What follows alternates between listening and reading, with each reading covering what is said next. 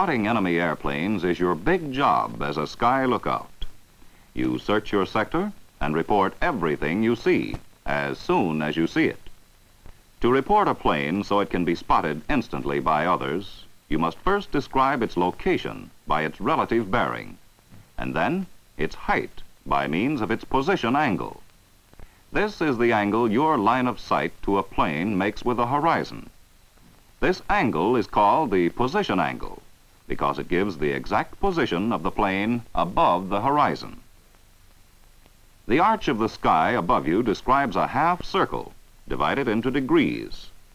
The point directly overhead, the zenith, measures 90 degrees from either horizon.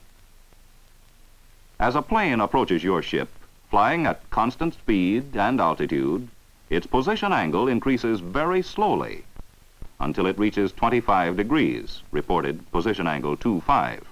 Then the angle increases more and more rapidly, 30, 35, 40, 45, 50, 55. Now it increases very rapidly until it reaches 9 or 0, directly overhead.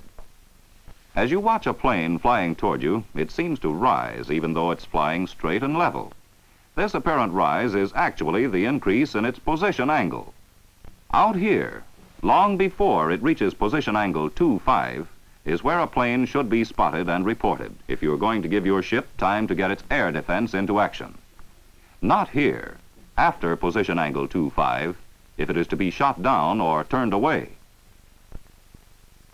If a plane can manage to sneak in undiscovered until it reaches its bomb release point at position angle 5-5, it will be too late for any defensive action. The plane will have dropped its bombs. Your job as a sky lookout is to keep watch and spot all planes in your sector. When you see a target, report its relative bearing and keep your binoculars trained on the plane so your telephone talker can read and report its position angle. By spotting and reporting every plane while its position angle is still small, you'll do your job in guarding against enemy air attack.